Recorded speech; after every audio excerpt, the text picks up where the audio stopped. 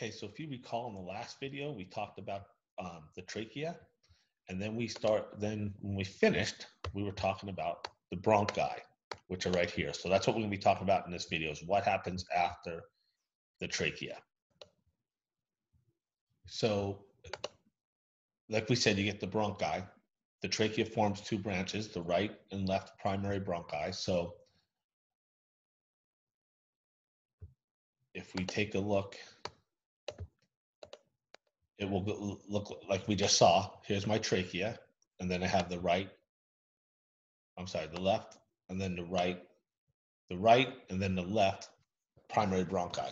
Remember, you're looking from the person's point of view. Your left bronchi is on your left side. So this is my left primary bronchi over here. And this would be my right primary bronchi that's over here. All right, right there. Okay, and then um, they form the bronchi branch, which is going to be secondary bronchi. And these are going to ventilate a lobe. So they're going to go into a lobe. So let's take a look at this real fast.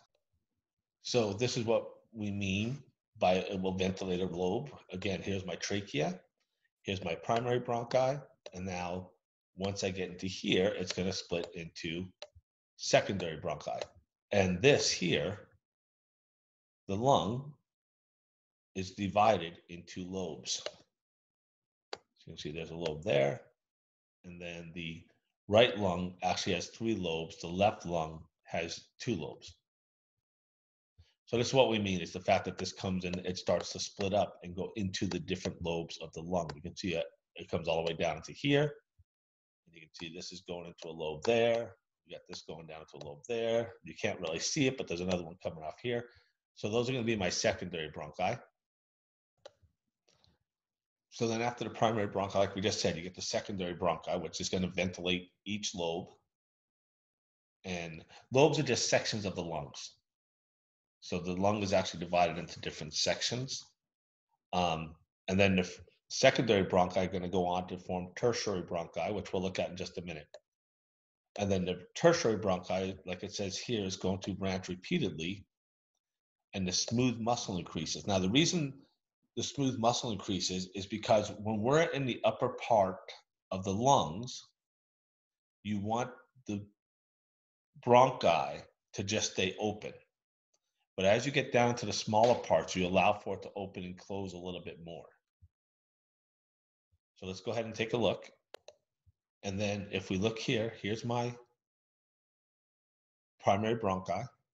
It says bronchus because that's plural. Both sides would be bronchi. And then we get the secondary bronchus, which is going to be cutting off into this way, but also this way. And then we get tertiary. So my secondary is going to split again and that's my tertiary bronchi. Now these will continue on just like this does. Okay, so again, I get my primary bronchus, or uh, if I'm talking about both, plural is bronchi. I get my secondary, which goes this way, and this way, and this way. Okay, then I'm going to get my tertiary, which is this, and this, and this. So my secondary breaking again. This would also be considered tertiary right here okay, just because it's the next the next part it splits. All right, and as it says there, you get smaller bronchi. So I get smaller bronchi breaking off. Then it's going to get real small. And this is where my smooth muscles usually come in. If you notice, there's not that much cartilage here anymore. All this bluish grayish stuff is cartilage. If you notice down here, I don't have very much cartilage, but I have more smooth muscle. So these are the bronchioles. And then I get my terminal bronchioles and then my respiratory bronchiole, and then alveoli. Alveoli is not a bronchiole. Okay, alveoli is not a bronchiole. It is the alveoli is where gases are exchanged. Let me see if I can go back just a little bit. The alveoli is where gases are exchanged. If you notice, they look like a bunch of little bubbles. So in the next video, we'll be talking about the alveoli. So that's basically it for the bronchi or the bronchioles, the bronchial tree for right now. Um, I can't really write that well with this pen, but I'm going to try it anyway. So I'm going to have my primary bronchi, RY is primary. I think that's a math term, right? So I'm going to have my primary bronchi coming off the trachea. And then you'd have secondary, right? Secondary bronchi coming off of the primary. Then you're going to have tertiary, which I think tertiary is another is a word for three. I'm going to have tertiary bronchi. And then I would have my, hold on, I got something on my screen that you can't see. Then I'm going to have my,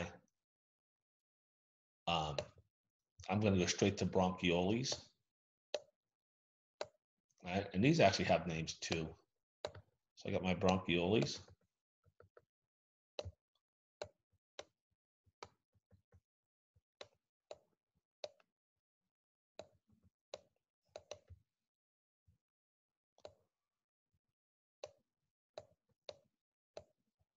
All right, and then I'm gonna have my terminal bronchi, which you would think the terminal bronchi would be the end, but I'm just gonna put TB for terminal bronchi. Because as you can see, I can't write very much with this, and I know you don't want to sit there and wait for me to write stuff out. And then I would have my respiratory bronchi. And then from there, it's going to go into my alveoli. I'm going to just put it off to the side here, just simply because of the fact that um, I'm running out of room. Alveoli.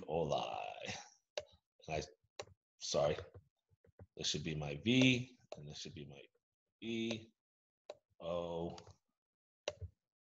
L, I. Okay. And so basically, this is my bronchial tree coming like this uh, right here. I don't think the alveoli is considered part of the bronchial tree. And that's it.